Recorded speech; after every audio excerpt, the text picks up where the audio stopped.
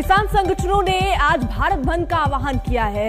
तीनों कृषि कानूनों की वापसी को लेकर उनका जो आंदोलन है, वो और तेज होता हुआ नज़र आ रहा है। अलग अलग बॉर्डर की तस्वीरें भी हम आपके सामने रख रहे हैं, जहाँ पर किसान या तो ट्रैक्टर रोककर खड़े हो गए हैं या सड़क पर खुद बैठ गए हैं, जिसकी वजह से जान जैसे हालातों से लोगों को दो चार होना पड़ रहा है। सुबह छह बजे से लगाकर शाम चार बजे तक ये बंद का आह्वान किया गया, जिसमें कई सियासी पार्टियों का समर्थन भी इन किसान संगठनों को है।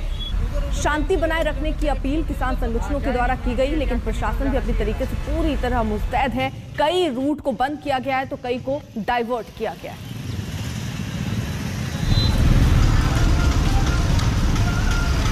फ़िलहाल रुकने एक छोटे से ब्रेक के लिए आप देखते रहिए आज तक।